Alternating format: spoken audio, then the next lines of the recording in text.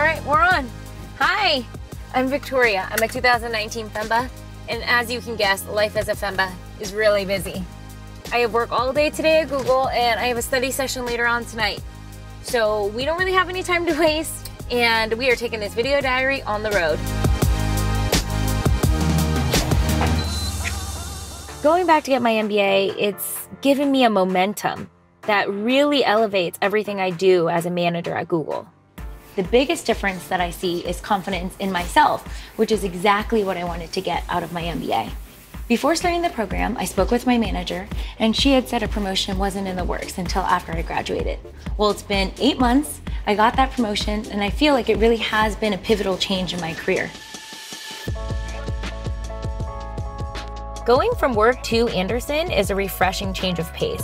Not only do I get a ton out of what we learned in class, it's eye opening to hear the perspectives from all of my classmates who come from dozens of industries, which allows us to grow together both in the classroom and out.